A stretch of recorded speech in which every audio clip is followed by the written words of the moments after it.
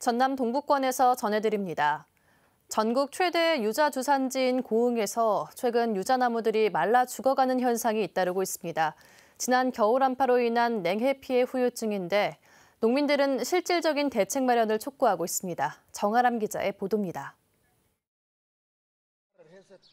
고흥의 한 유자 농가입니다. 나뭇가지는 바싹 말라 있고 밑동에서는 투명한 진액이 흘러나옵니다. 꽃이 떨어진 자리마다 청색 열매가 연그러야 하지만 찾아보기 어렵습니다.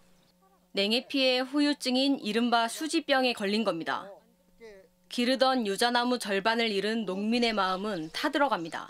지금 세 번 죽어서 잘라서 파쇄를 하고 지금 네 번째 하도 이제 지쳐가지고 더 잘리기를 못하겠어요. 정말 할 말이 없습니다. 유자나무가 견딜 수 있는 최저 기온은 영하 4도. 그나마도 3일까지가 한계입니다.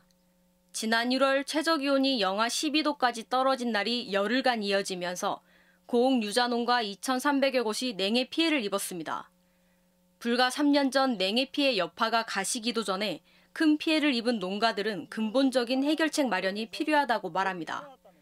특단의 조치를 취해주지 않으면 공유자는 상당히 소멸의 위기 상황이 왔다 이렇게 판단을 합니다. 고흥군은 정부에 복급이 36억 원을 요청하는 한편 관련 농가 등과 함께 대책 마련에 나설 계획입니다. 가공 공장 뭐 대표들하고 또 선도 농가들, 유자 농가들하고 같이 뭐 아마 운운을 한번 해가지고 대책이 마련될 것 같습니다. 올해 고흥 유자 예상 수확량은 2.5천 톤 가량. 지난해의 절반에도 못 미치는 수준입니다.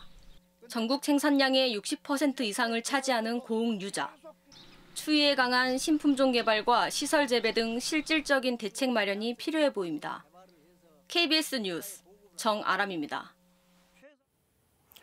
여순 광양유족회가 여순 사건 특별법 제정을 촉구했습니다.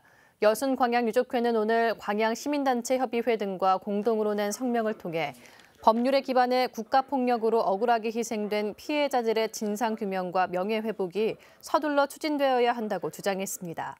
여순 사건 특별법은 지난 2001년 16대 국회에서 처음 발의됐고 이후 상임위 계류 뒤 자동 폐기를 반복하다가 지난해 7월 민주당 소병철 의원이 대표 발의한 법안이 최근 국회 소관 상임위를 통과하면서 제정 가능성이 커졌습니다.